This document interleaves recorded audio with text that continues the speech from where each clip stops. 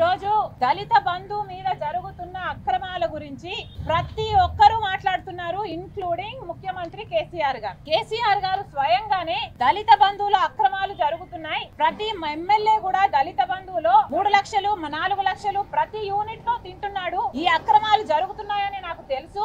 ఎమ్మెల్యేల చిట్టా అంతా నా దగ్గర ఉంది అవినీతి జరుగుతుంది అని కేసీఆర్ గారు స్వయంగా ఒప్పుకున్నారు మరి మేము అడుగుతున్నాము దళిత బంధువులో ఇన్ని అక్రమాలు జరుగుతుంటే కనీసం ముప్పై పర్సెంట్ నుంచి నలభై పర్సెంట్ మీ ఎమ్మెల్యేలే తింటుంటే మరి ముఖ్యమంత్రిగా ఉన్న కేసీఆర్ గారు ఈ అవినీతి గురించి తెలిసి కూడా ఈ రోజు ఏం చేస్తున్నారు తెలంగాణ ప్రజలు సమాధానం చెప్పాలి. తెలంగాణ ప్రజలకు సమాధానం చెప్పాల్సిన అవసరం ఉంది కేసీఆర్ గారు. అసలు మన రాష్ట్రంలో పద్దెనిమిది లక్షల డెబ్బై వేల కుటుంబాలు దళిత కుటుంబాలు ఉన్నాయి. పద్దెనిమిది లక్షల డెబ్బై వేల దళిత కుటుంబాలకు దళిత బంధు ఇస్తానన్నాడు కేసీఆర్ గారు. కానీ ఇచ్చింది మాత్రం కేవలం ముప్పై ఆరు వేల మందికి మాత్రమే. అంటే కనీసం రెండు పర్సెంట్ కూడా ఇవ్వలేదు కేసీఆర్ గారు. సరే ముప్పై ఆరు వేల కుటుంబాలకు మీరు దళిత బంధు ఇచ్చారు అంటే మూడు వేల ఆరు వందల కోట్ల రూపాయలు మీరు ఇంతవరకు ఇచ్చిన అమౌంట్ దాంట్లో ముప్పై నుంచి నలభై శాతం వరకు అవినీతి జరిగింది అని కేసీఆర్ గారే చెప్తున్నారు అంటే కనీసం పదహైదు వందల కోట్ల రూపాయలు కేసీఆర్ గారి ఎమ్మెల్యే బిఆర్ఎస్ పార్టీ ఎమ్మెల్యేలే స్వాహా చేసిన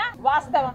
ఇలాంటి పరిస్థితిలో అంటే పదహైదు వందల కోట్ల రూపాయలు అవినీతి జరిగింది అని తెలిసి కూడా కేసీఆర్ గారు ఏమీ చేయటం లేదు. మొత్తం అందరికీ దళిత బంధు ఇస్తే రెండు లక్షల కోట్ల రూపాయల వరకు విడుదల చేయాలి. రెండు లక్షల కోట్లలో నలభై శాతం వీళ్ళు తినాలని వీళ్ళ స్కీమ్ అయితే డెబ్బై ఐదు వేల కోట్ల రూపాయల అవినీతి ఒక్క దళిత బంధువులోనే జరగబోతుంది. మరి కేసీఆర్ గారు ఇదంతా తెలిసి కూడా ఎందుకు ఊరుకున్నారు అని అడుగుతున్నాం. ఎందుకంటే కేసీఆర్ గారు ఈ ఎమ్మెల్యేల మీద యాక్షన్ తీసుకుంటే మా మీద మాత్రమే ఎందుకు యాక్షన్ తీసుకుంటున్నారు?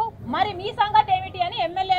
ప్రశ్నిస్తారు అని మీకు భయమా? మేము చేసింది గోరంతే కదా? మీరు చేస్తున్నది కొండంతా అవినీతి కదా? అని ఎమ్మెల్యేలు ప్రశ్నిస్తారని కేసీఆర్ గారికి భయమా? మేము చేసింది కొంత అమౌంటే కదా? మరి మీ బిడ్డ లిక్కర్ స్కామ్లో వందల కోట్లు వేల కోట్లు సంపాదించుకున్నారు కదా? మరి వాటి మీద యాక్షన్ ఎందుకు తీసుకోరు అని ఎమ్మెల్యేలు మిమ్మల్ని అడుగుతారని మీ భయమా? మేము చేసింది కొంచెమే కదా? కేటీఆర్ గారు రియల్ ఎస్టేట్ స్కామ్లో లక్షల కోట్లు సంపాదించుకున్నారు మరి దానికత ఏమిటి అని ఎమ్మెల్యేలు ప్రశ్నిస్తారని మీ భయమా బంధు తీగ లాగుతే ప్రగతి భవన్లో కమిషన్ల దొంకంతా కదులుతుంది అని కేసీఆర్ గారికి భయమా? ఎందుకని కేసీఆర్ గారు దళిత బంధువులు అవినీతి జరిగింది అని తెలిసి కూడా ఏ యాక్షన్ తీసుకోవడం లేదో కేసీఆర్ గారు తెలంగాణ ప్రజలకు సమాధానం చెప్పాల్సిన అవసరం ఉంది. మళ్ళొక్కసారి వైఎస్ఆర్ తెలంగాణ పార్టీ ప్రజల పక్షాన నిలబడుంది. దళిత బంధు కోసం పోరాడుతూనే ఉన్నాం. ఇలాంటి వారిని మరి ముఖ్యంగా అభినందించడమే కాకుండా అఖిల పక్షాలను